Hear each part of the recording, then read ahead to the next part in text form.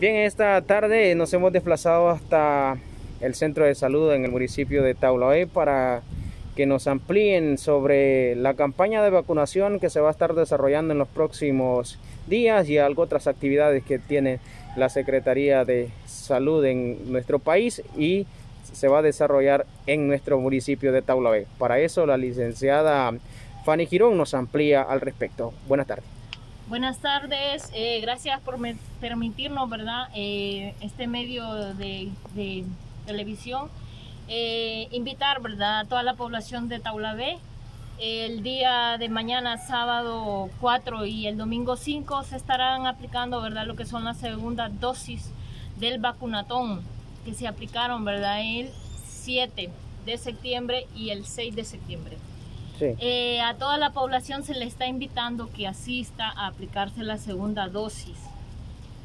Y eh, tienen que llevar su carnet, porque ahí es donde le van a registrar su segunda dosis. Ya una vez recibiendo las dos dosis van a tener una efectividad del 95%.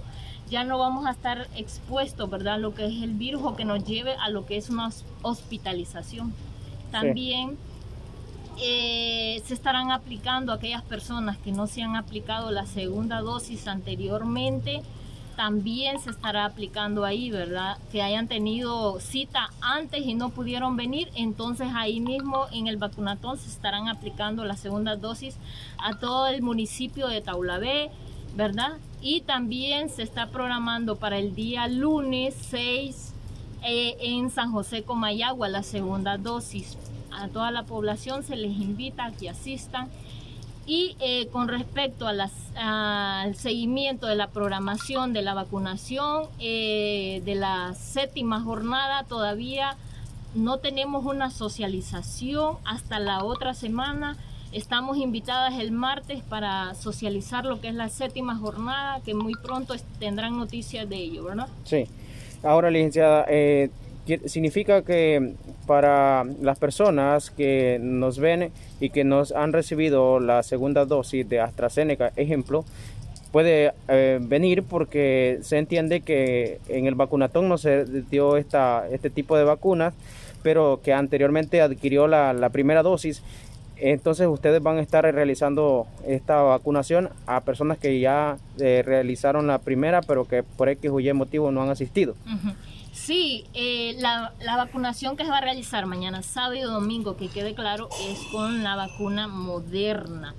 Y si hay personas que están pendientes de AstraZeneca, entonces vamos a hacer un listado, porque recordarles que para abrir un frasco necesitamos 11 personas y por una persona no podemos abrir un frasco.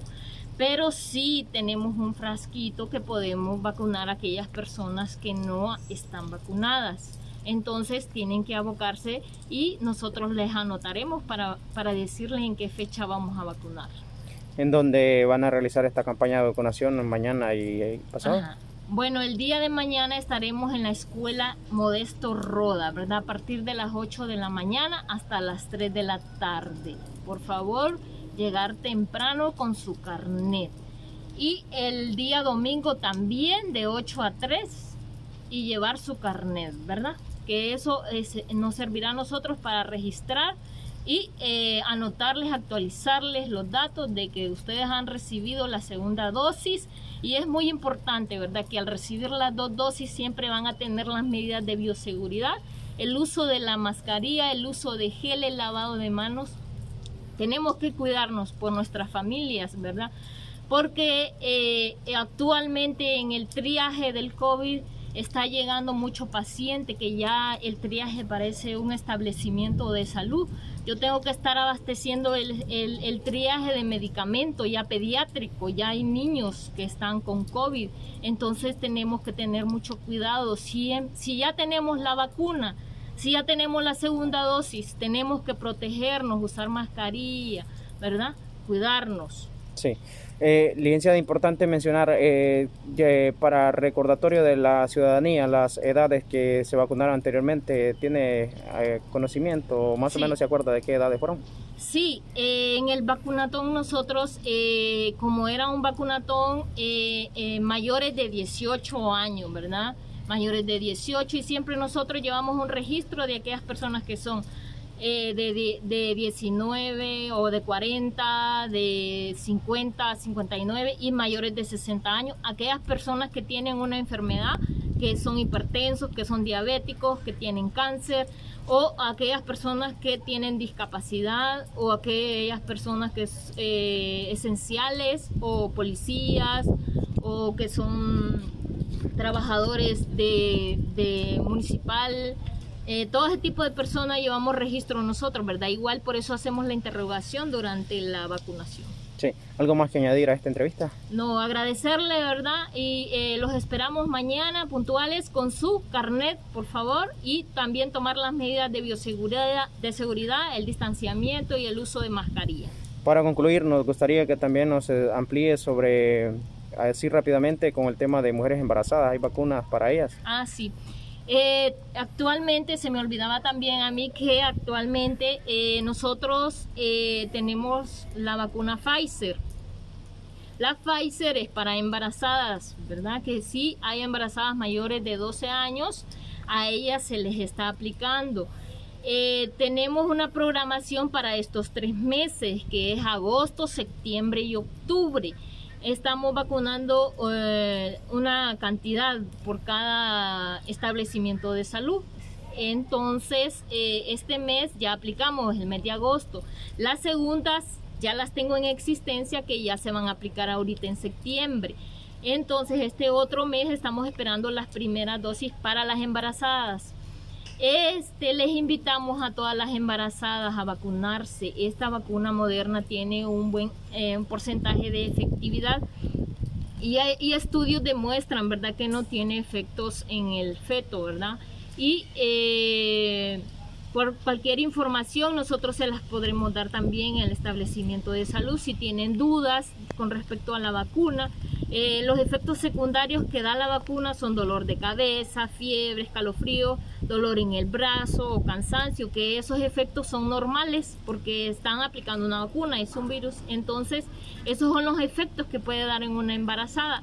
Y eh, se puede tomar acetaminofén cada seis horas, ¿verdad? Si llegaran a presentar estos efectos. Pero sí, es recomendable que las embarazadas se estén vacunando por el motivo de que ya tenemos eh, una muerte materna, ¿verdad? Por COVID de una embarazada.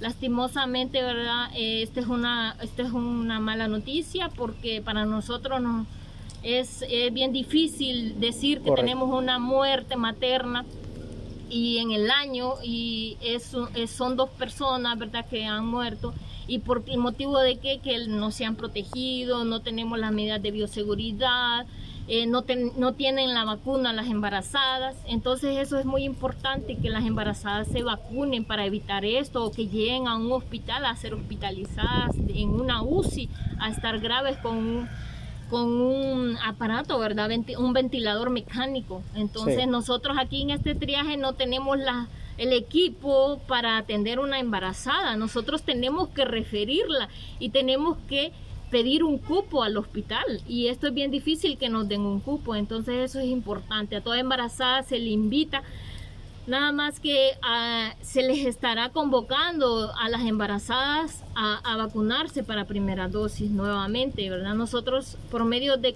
comunicación que siempre nos apoyan les avisaremos en qué fechas estaremos vacunando, pero sí es muy importante que se aboquen al, al establecimiento de salud más cercano para que se vacunen.